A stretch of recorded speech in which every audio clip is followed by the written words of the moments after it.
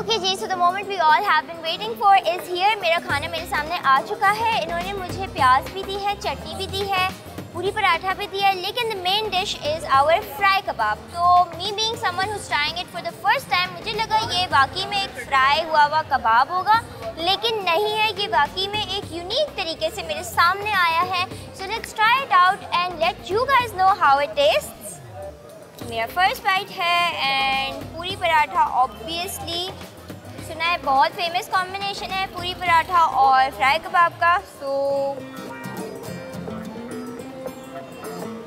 अच्छा texture wise कबाब जैसा ही है, लेकिन एक तरीके से मैश हुआ हुआ।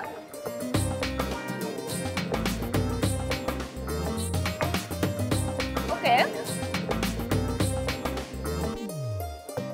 एक्चुअली रियली गुड जैसे कि मैंने कहा टेक्सचर वाइज कबाब जैसा है लेकिन खाने में काफ़ी डिफरेंट है।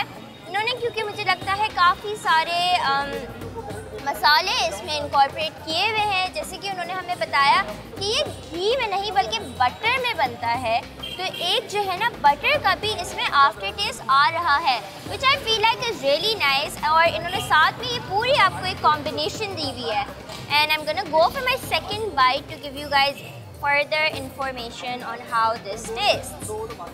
Okay, uh, this is my second bite.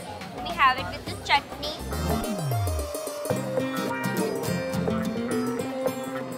Okay, so I really like it. I feel like चटनी के साथ ये थोड़ा सा डिफरेंट हो जाता है लेकिन जो इसकी खुशबू है वो भी काफ़ी अच्छी सी आती है जब ये आपकी टेबल पे सर्व होता है आगे और साथ में ये आपको चटनी भी देते हैं इसकी तो taste wise I feel like it's really really good और, अब मुझे समझ आ रही है कि ये क्यों इतना ज़्यादा हिट है। पहले मुझे लगा था कि मतलब फ्राई कबाब क्यों नहीं है राइट लेकिन जब मैंने ट्राई किया है तो मुझे रियलाइज़ हो गया है how it is a unique dish but with a lot of flavour involve